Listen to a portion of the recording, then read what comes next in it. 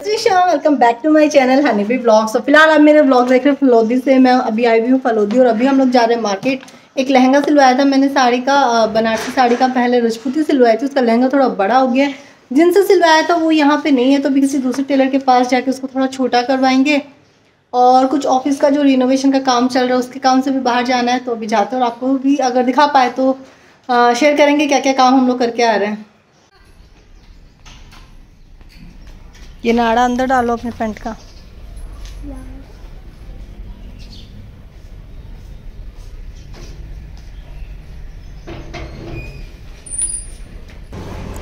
तो यहाँ पे आ गए थे मैं मेरी राजपूती ड्रेस का जो ओढ़ना लेने के लिए पहले भी मैंने खूब बार ढूंढा लेकिन मुझे एग्जैक्ट कलर नहीं मिला और इस बार भी नहीं मिला है। बस 19-20 के फ़र्क में मुझे दुपट्टा मिला।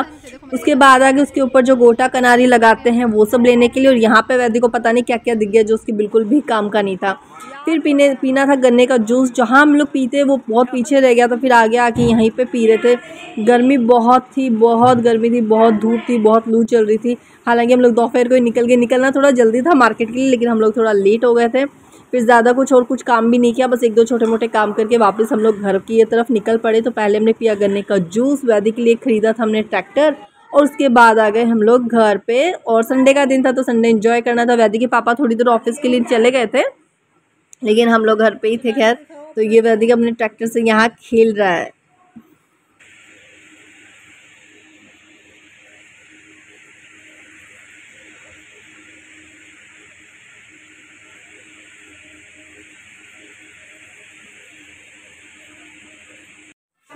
फिर शाम को निकल गए वापस हम मार्केट की तरफ़, ऑफ़िस के लिए वॉलपेपर वगैरह देखने थे तो हम लोग ने दो तीन शॉप पे ट्राई किया वॉलपेपर कुछ समझ में आया भी नहीं भी आया, किसी ने कुछ अलग अलग सजेशंस भी दिए अपनी तरफ़ से। और ऑफ़िस छोटा भी है और सबने बोला एक ही वॉल पे वॉलपेपर अच्छा लगता है, तीनों पे नहीं लगता। मैन जो पीछे की वॉल होती है, लेकिन मैन पीछे की वॉल पे भी फर्नीचर लगा हुआ है तो यूँ करके सेट नहीं हो रहा था।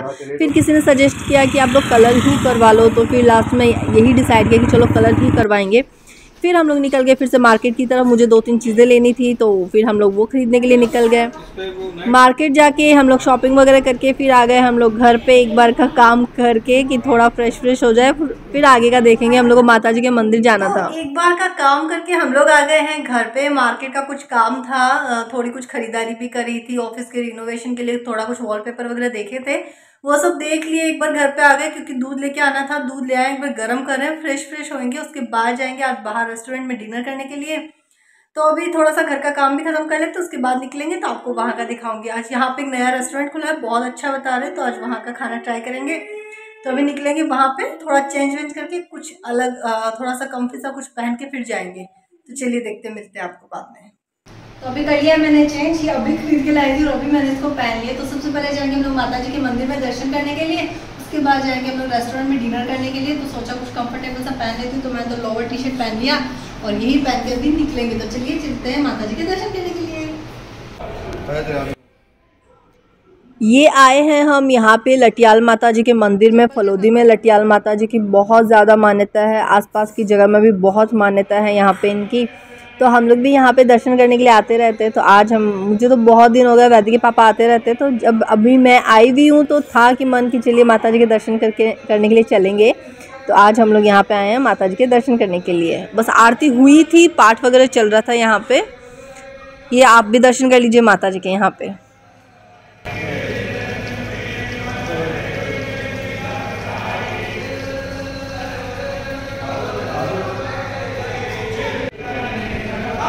वैदिक यहाँ इधर आ।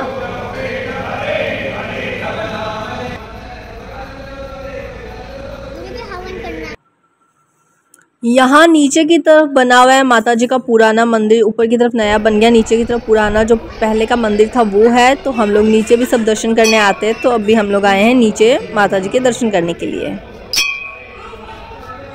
आओ नहीं।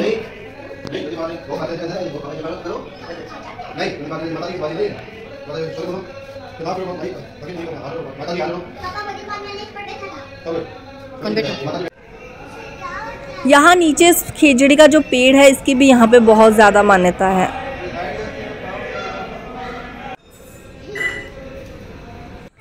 और इसके बाद चले गए हम होटल सवाया यहाँ पे जो अभी नया रेस्टोरेंट खुला है तो हम लोग यहाँ पे आए थे डिनर करने के लिए कि इसका खाना ट्राई करते हैं। तो पूरा दिन वैसे घूमने फिरने में निकल गया और फिर शाम को आ गए हम लोग यहाँ पे लंच डिनर करने के लिए।